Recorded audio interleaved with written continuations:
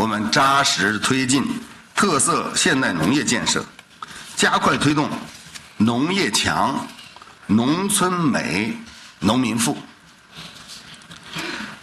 立足多样性的丰富农业资源，大力发展果业、畜牧业、设施农业及区域特色农业。全省的粮食产链连续十五年稳定在千万吨以上。世界上每七个苹果，每三个猕猴桃，就有一个是来自于陕西的。我们的这个苹果的种植面积啊，一千一百万亩，每年的苹果产量啊，有一千万吨。更多精彩尽在中国新闻网客户端。